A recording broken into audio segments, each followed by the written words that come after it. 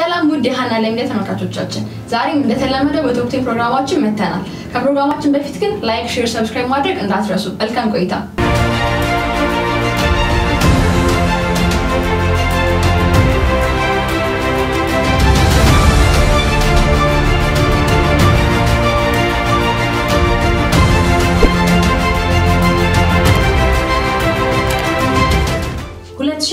ሺህ 20 ማርሴዲስ AMG G63 ዋጋው 147 ዶላር የሆነ ሲሆን በማርሴዲስ ድርጅት የተመረተ ነው።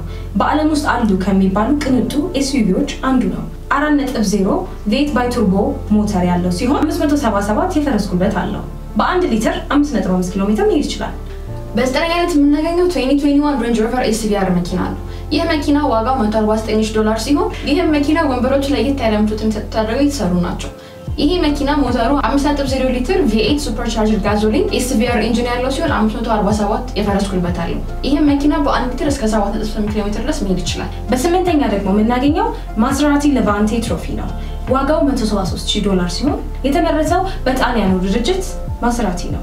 twin turbo V8 engine ያለው ሲሆን የፈረስ ጉልበቱ 590 ነው። በአንድ ሊትር ደግሞ 5.7 ኪሎ ሜትር መሄድ ይችላል። በሰባተኛነት የምናገኘው ፖርሽ ካየን ቱርቦ ኩፕ ነው።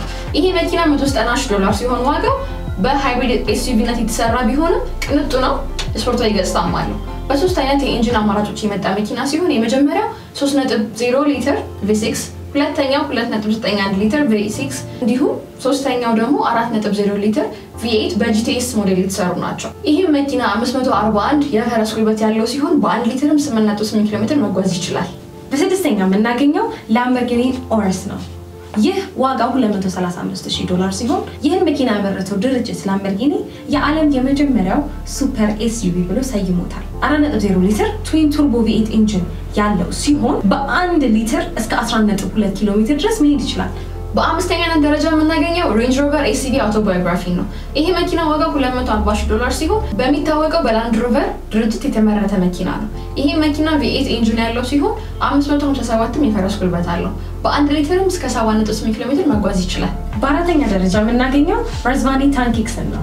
ዋጋው 259 ዶላር ሲሆን ይህ መኪና በራዝቫኒ ሞተርስ የተሰራ ነው። በውበቱና በጥንካሬው በጣም የተለየ ሲሆን V8 ሞተር ያለውና ከ500 እስከ 1000 የፈረስ ጉልበት አለው። በሶስተኛነት የምናገኘው ቤንትሊ ቤንታሊያ ስፒደር ነው።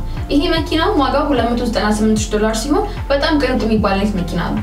V8 engine ያለው ሲሆን 543ም የፈረስ ጉልበት አለው። በአንድ ሊትርም እስከ 10.9 ኪሎ ሜትር ድረስ መጓዝ ይችላል።